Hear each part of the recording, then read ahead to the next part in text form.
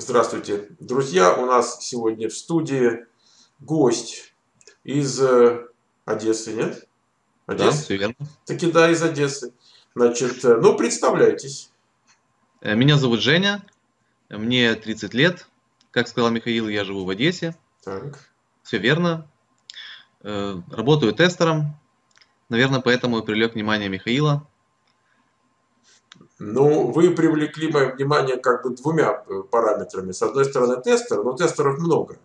Но вы откликнулись на видео, которое я делал, там человек задавал вопрос э, о том, что вот как быть инва- инвалиду-колясочнику, да, значит, он, правда, в более широком ключе, то есть он говорит, вот как эмигрировать, э, вот, может быть, ему выучить тестирование, и там работать тестером и так далее, но я понял, что вы как бы поменяли профессию на э, тестировщика, будучи инвалидом-колясочником.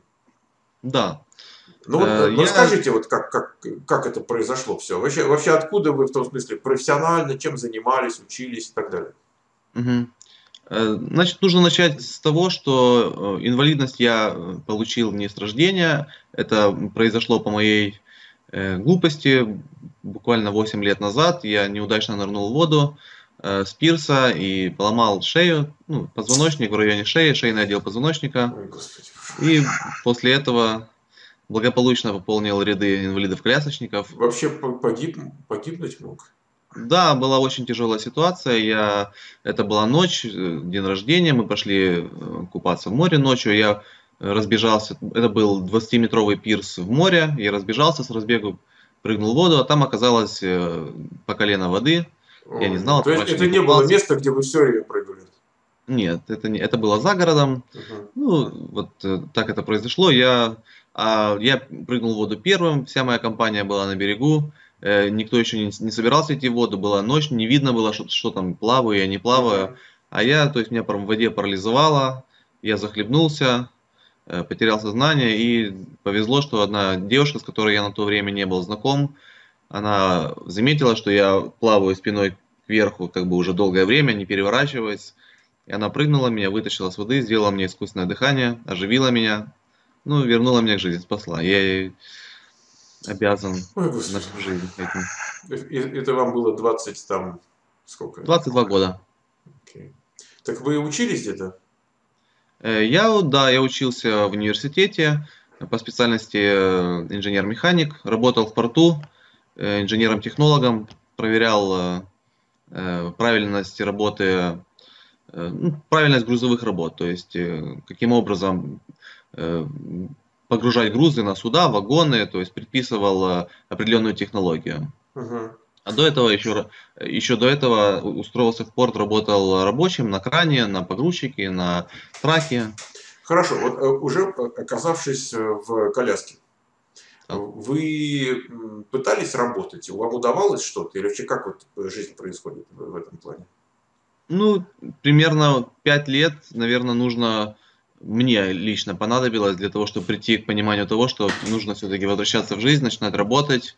А до этого была реабилитация физическая, э, моральная, потому что это сказывает. Ну, человек ходил ногами, а тут Ну э, да. садится А в деп- коляску. депрессия была?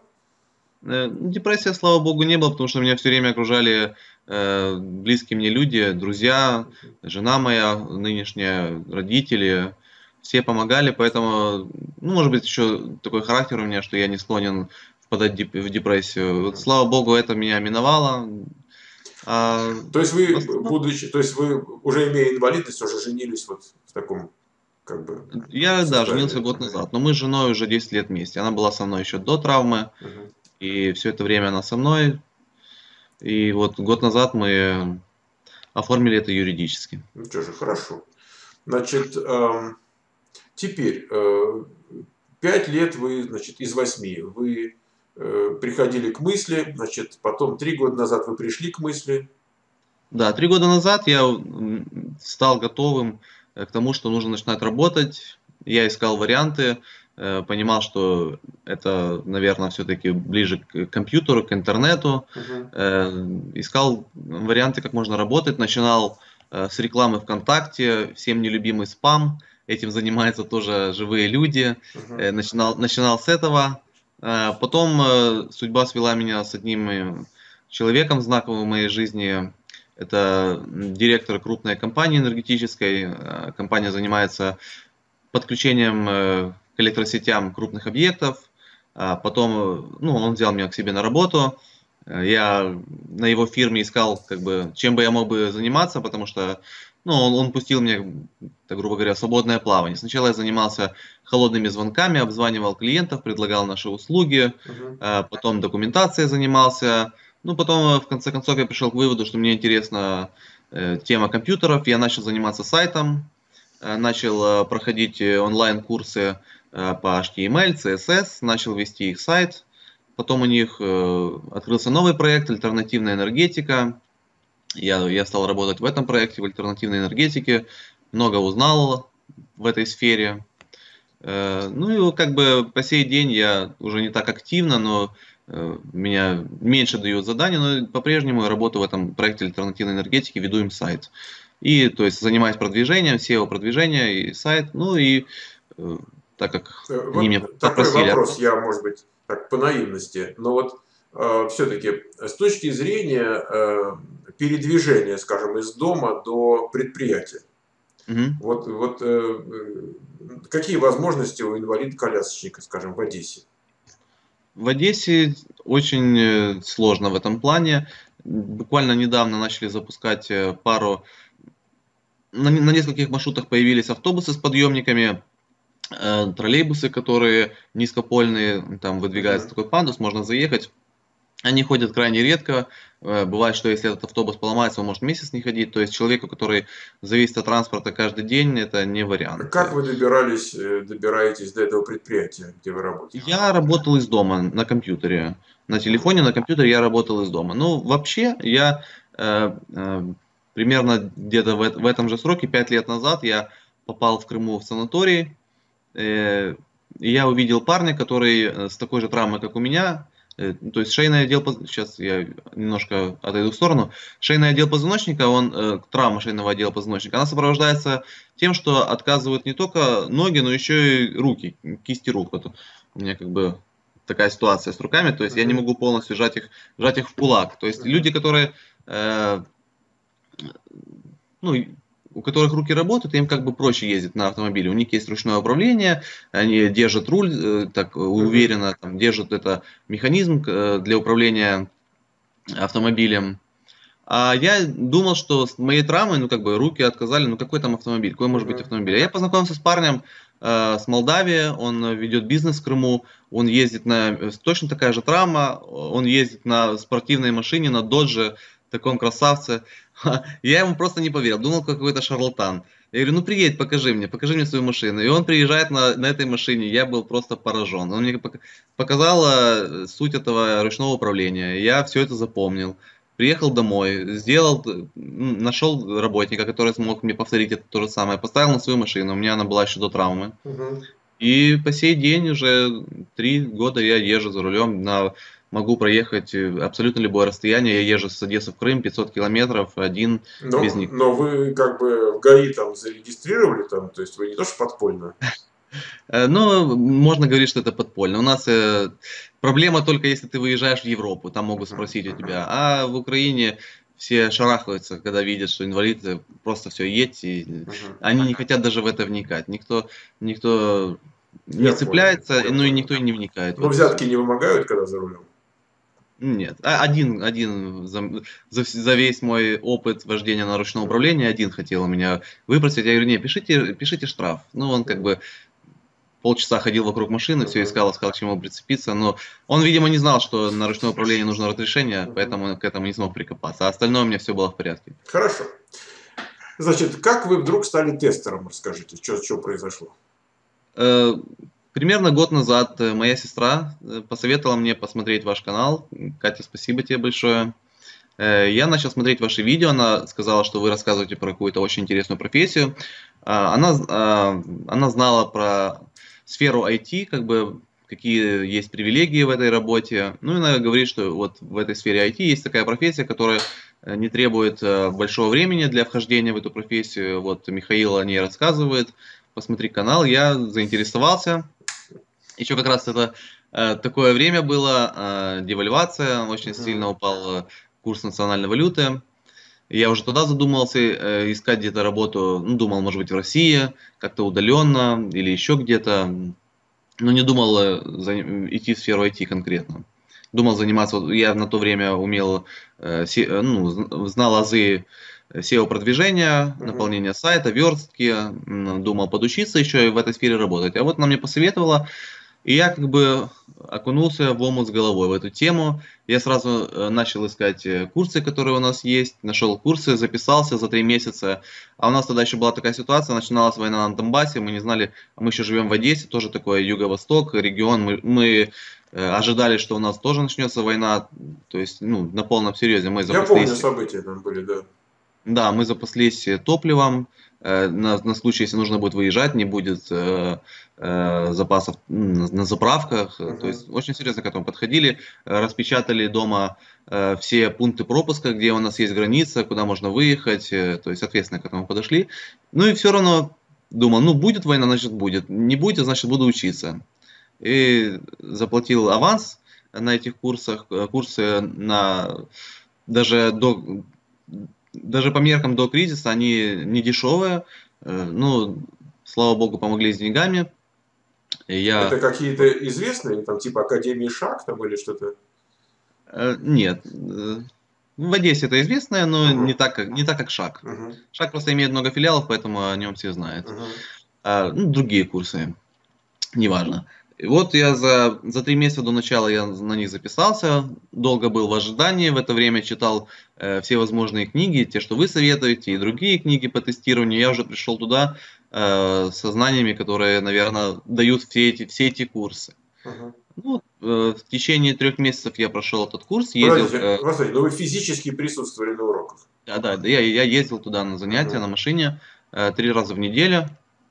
Да, не четыре, четыре раза в неделю. Там был английский у нас, э, вел носитель языка, девушка-американка.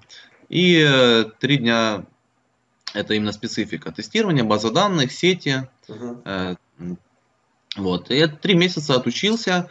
А, значит, на первом занятии на этих курсах было водное, э, такое как водное занятие, пригласили э, head, ну, руководителя офиса э, крупной компании IT одесской, Data Art.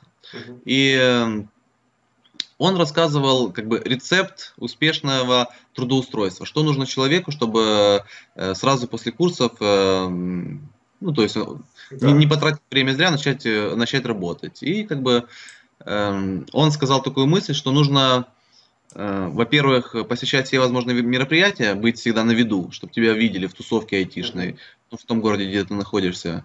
Второе, нужно, да- даже не второе, наверное, первое, нужно с самого первого дня начинать работать, неважно, где ты будешь работать, будет ли это твой собственный какой-то проект, или ты будешь просто чей-то сайт тестировать, э, люди даже не будут об этом знать, где-то себе записывать, или ты будешь за 5 копеек где-то у кого-то Мгм, работать. э, Ну, начинать работать как можно раньше. Разумные все, И- очень, очень разумные Да, вещи, и, да. и третья, третья мысль, которую он сказал, э, нужно каждый раз делать больше, чем от тебя ожидают. Тогда ты будешь успешным.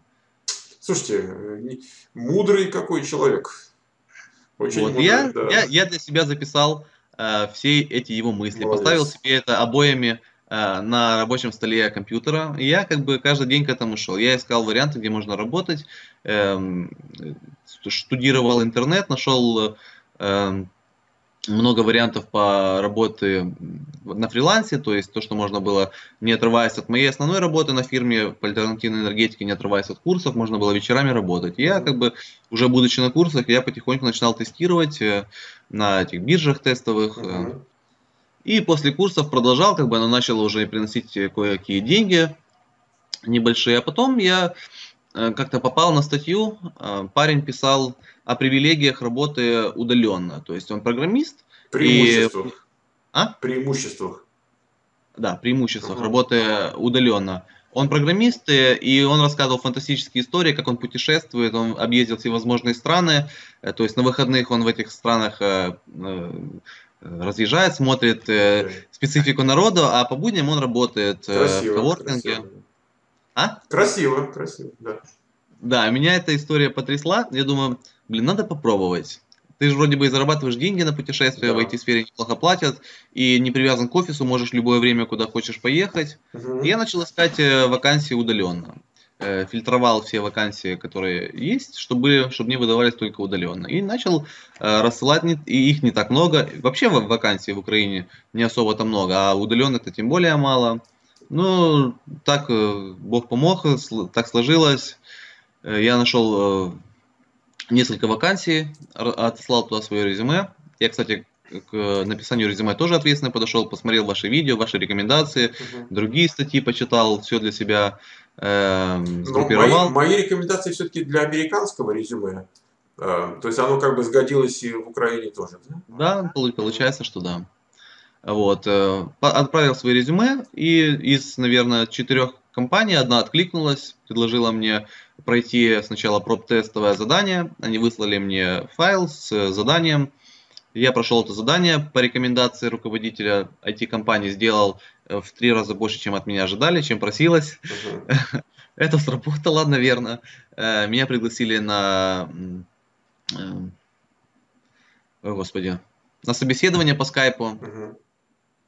Пообщались со мной. Ну и как бы сказали, что у них есть еще другие э, кандидаты на эту должность. Я сказали, что нужно подождать. Три или четыре дня я ждал. Ну, потом мне сообщили, что я принят на работу на испытательный срок.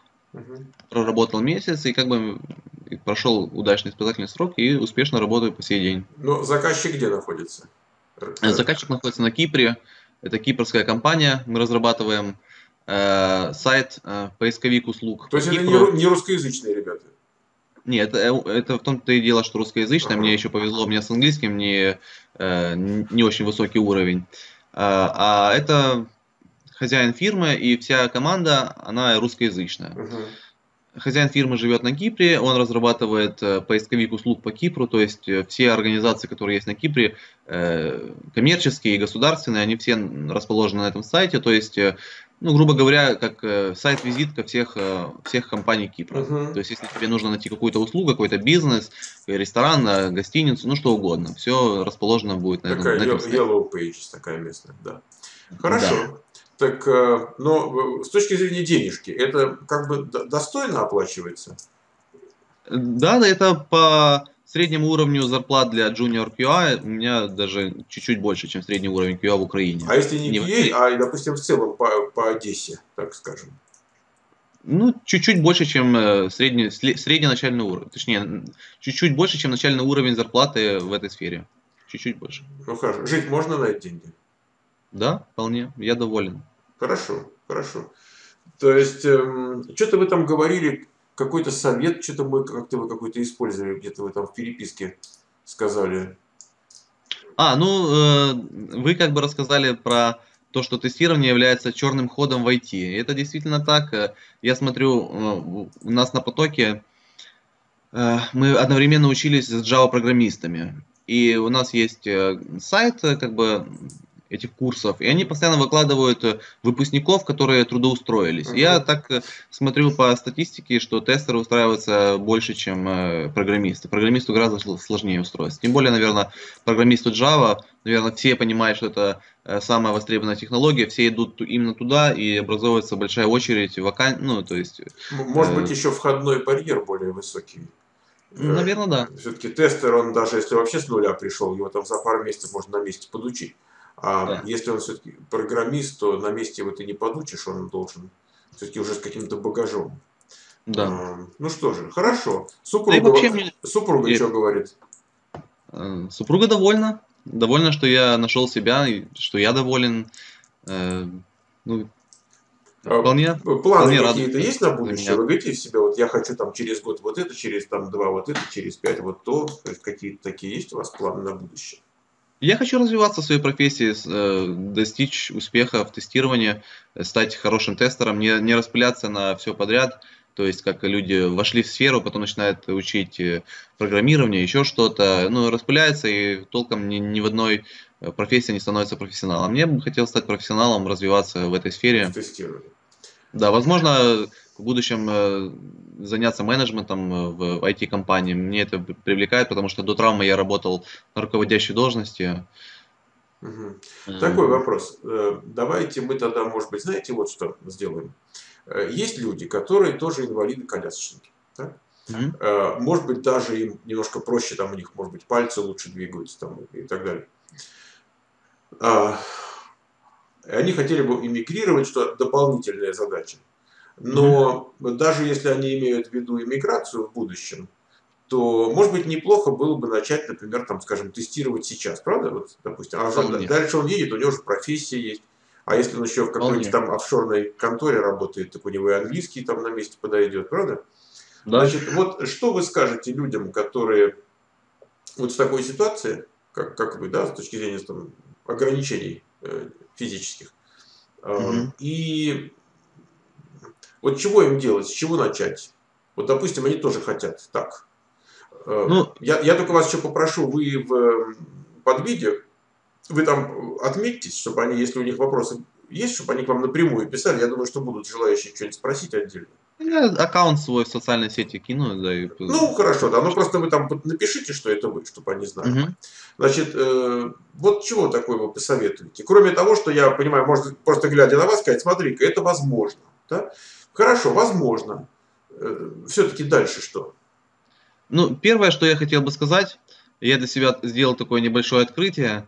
Э, человек, который получил инвалидность, либо с ней родился, э, чем больше он себя позиционирует как инвалид, тем больше его окружение, все его обстоятельства способствуют тому, чтобы он этим инвалидом оставался. Да. Если человек надеется на какие-то общественные организации, на какую-то помощь государства, на какие-то другие организации, которые его перевезут в Америку, еще что-то, то если он ждет от кого-то помощи, а сам э, прилагает минимум усилий, то он так и останется инвалидом. Это вы какие-то вопросы из, из тех, что я зачитывал, да, вот там люди спрашивают, какие фонды, какие программы. Да, и... да, да, я, я, же, я поэтому угу. написал комментарий, по которому вы меня нашли. И чем, чем больше человек будет рассчитывать на кого-то, тем меньше у него что-то получится. Угу. Вас не возьмут в IT-компанию, если вы будете себя позиционировать как инвалиду, которому э, нужен сокращенный рабочий день, которому нужны какие-то особые условия. Чем меньше для вас нужно а, особого подхода, тем быстрее вы попадете uh-huh. в индустрию. Чем, чем быстрее вы адаптируетесь к нормальной жизни, чем меньше вы будете общаться только с инвалидами, а чем, чем больше вы будете выходить э, в обычную жизнь, которая у вас была до травмы, тем легче вам будет устроиться. Это, это самое основное.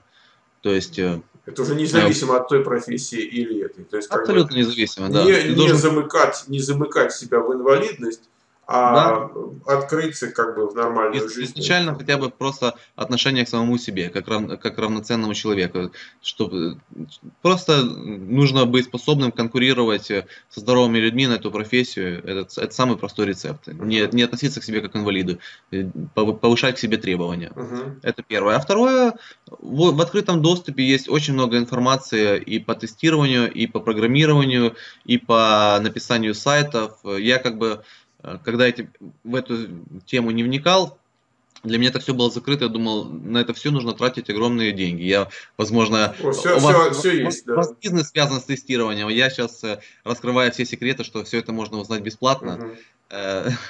Надо иметь внутреннюю активность для этого. Да. А вы мой курс слушали на русском языке? Вот тот? Да, слушал, я, мне очень понравилось. Вы знаете, что ну, интересно? Вот я сегодня только общался с женщиной из Одессы тоже. Э, которая сейчас ходит на курсы, не знаю на какие, по тестированию. Угу. И, ну, мы с ней так в переписке, эм, по-моему, в скайпе вроде мы с ней. Вот. И она говорит, я когда на курсы пришла, значит, вот нам там с первого дня преподаватели говорят, что вот там есть ресурсы, там туда-сюда, вот там э, все смотрят наш курс. Угу. И говорят, вот там, говорит, вот есть курс, вот это, говорит, это, это must. Да, вас на, да. на всех курсах, куда не придешь, э, все, кто связан с тестированием, вас все знают. А знаете, как так это что... получилось? Я вам скажу, что произошло. Э, я начитывал это 4 года назад, прямо в это время mm-hmm. происходило. И произошло это вот, вот почему. Э, значит, я как-то так невольно оказался вовлеченным вот в некий форум там по тестированию mm-hmm. для СНГских, так сказать, тестировщиков. А, оказался, потому что мне там говорят, вот там что-то про вас там гадости говорят. Ну, это естественно, так сказать, если тамошний форум, так значит. Ну, я пошел почитать. И я смотрю, люди, а эти люди, они еще и сами занятия ведут. Да?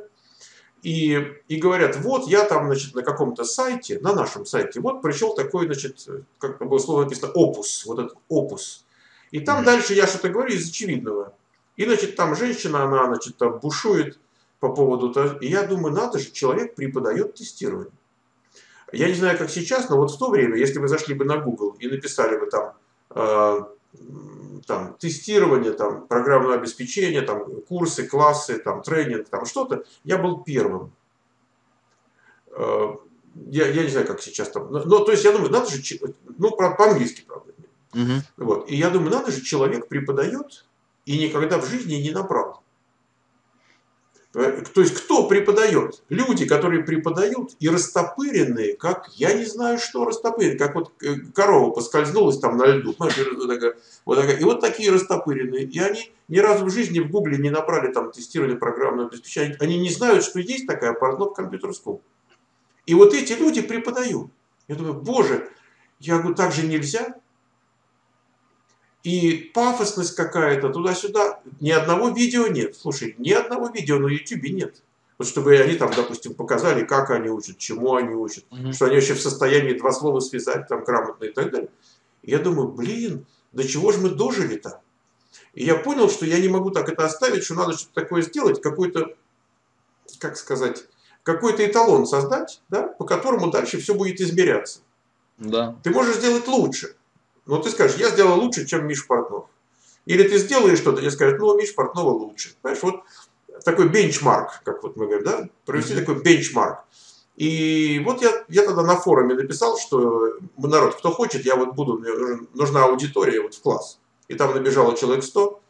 И мы с ними вот так, я считаю, очень продуктивно позанимались, записали 20 часов, включая поиск работы, там, э, сопроводительное письмо, резюме, там, там все туда уложилось в эти 20 часов.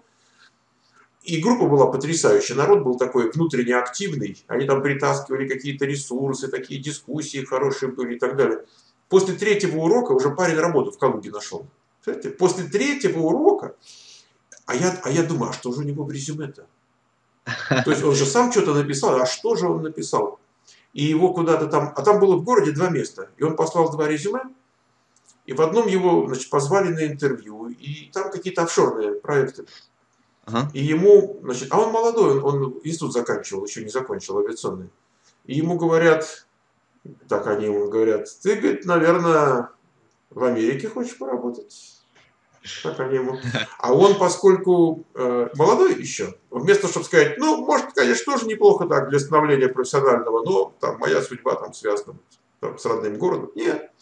Он, значит, им говорит, да я как думаю, есть. вы тут все не против в Америке поработать.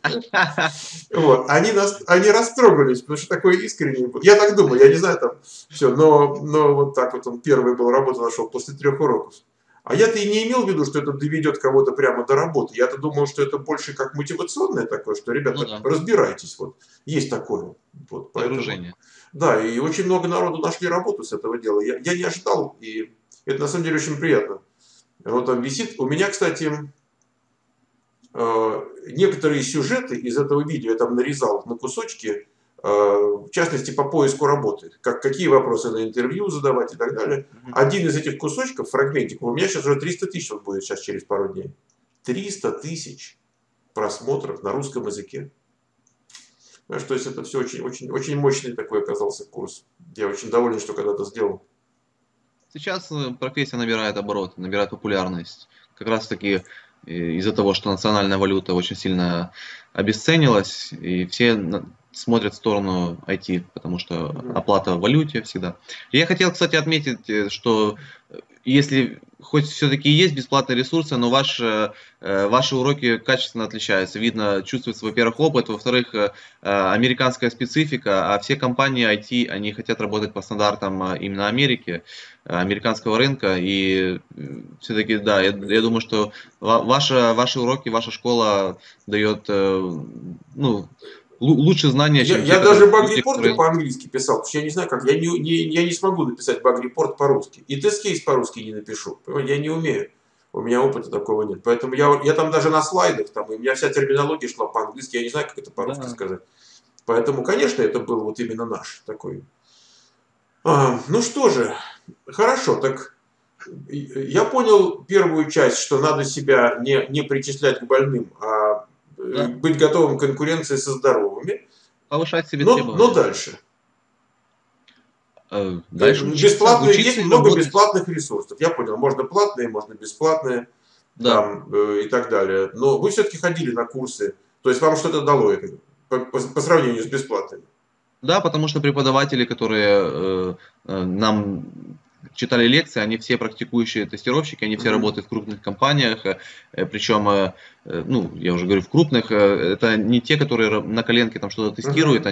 они для мировых брендов, там, у нас один преподаватель, он тестировал мультимедийную систему для BMW, прямо офис в Одессе, а заказ напрямую из, из BMW. Mm-hmm. Второй, он вообще не раскрывал подробности фирмы, на которой он работает, потому что там тоже очень известный у них заказчик. Uh-huh. Ну, опыт чувствуется, конечно, преподавателя.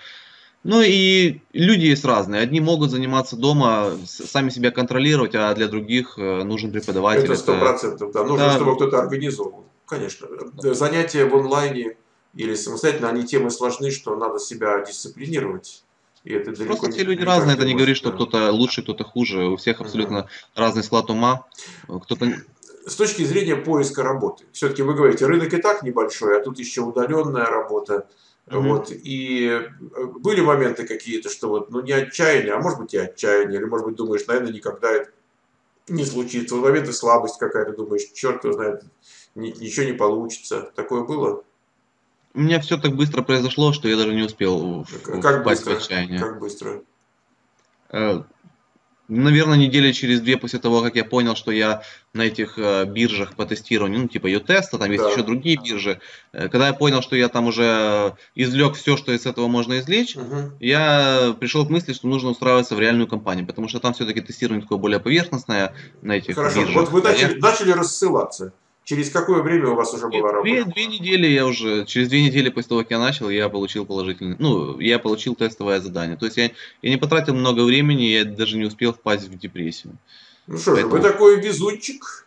Мне очень, мне крупно Так вы тогда вот что должны сделать. Вы должны быть э, паханом, э, ну или как это назвать интеллигентно, э, значит, вот такой комьюнити людей, которые, значит, вот находит, вот, имеет какие-то физические ограничения, да, а вы, можно сказать, такой маяк, передовое красное, это, как называется, переходящее красное знамя, нет. В общем, маяк такой. Э, и даете направление, и, и морально можете поддержать, правда же? То есть вот Конечно. Все, да, все так мы с вами, значит, тогда в протокол и запишем. Значит, присутствовали, значит, выступали. Вахту принимаю. Да, приняли резолюцию. Значит, вот подпись там секретарь и председательствующий. Хорошо. Да. Вы счастливые, вы через это не проходили. В комсомоле не были? Нет, Бог, миловал, да. прошло мимо меня. Ну, хорошо. Ладно, что же. Как в целом в Одессе-то? В Одессе? Да, люди позитивные в целом в Одессе. Хоть и, э, так будем честно говорить, что ситуация в стране не очень. Я, я даже не знаю, кому что, что может не нравиться, но основное то, что нет стабильности. Ты не уверен в завтрашнем дне. Слушайте, Абсолютно а вот новый начальник-то у вас там? Из... Саакашвили? Саакашвили, как там? Популярен или что-то? Ну, это его цель быть популярным. Да. Это, это ему очень хорошо удается. А, а так в целом пока, наверное, очень сложно ему сдвинуть э, наш паровоз. Ну, воровать меньше не стали? Ну, я, я, я, я не причастен к тому, кто там что ворует, поэтому ага. я не знаю, обделили кого-то или Но нет. популярность есть. популярность, да, это однозначно. И вот это кто там, Мария Гайда, кто там к нему приехал? А, да, да. Ну, я сейчас меньше слежу. Я как э, начал работать, я перестал следить за всеми этими политическими э, баталиями. Так. Это как э, доктор Барменталь говорил, не читайте советскую прессу, так вот я не, не смотрю ни украинские, ни российские новости. Я погружен То в работу. Вышли на международную арену и орбиту. Вышли на международную орбиту и уже там да. не замечаете всех этих проблем. Ну что же, хорошо, давайте я вас от имени наших зрителей, значит, поблагодарю и э, пожелаю всяческих успехов. Ну и на самом деле, если будет еще что-то такое подрассказать, какие-то такие вещи интересные, да, вы имеете в виду, что у нас есть аудитория, которые интересуются, так что вы не пропадайте. Ладно? Да, я, я сейчас э, буду поступать э, на второе высшее образование по компьютер сайенс. Я бы хотел, чтобы у меня была возможность э, получить рабочую визу, если, если в этом будет необходимость куда-то уехать. Угу. Для этого нужно высшее образование да. по компьютер сайенс. Я буквально через неделю еду в Одесский политех, буду узнавать подробности. В этом году собираюсь поступать на второе высшее образование. Ну, отлично, отлично. Хорошо, давайте я тогда с вами так попрощаюсь, ручкой мы помашем, вы тоже там помашите. И, да, что называется, там, до, до новых встреч.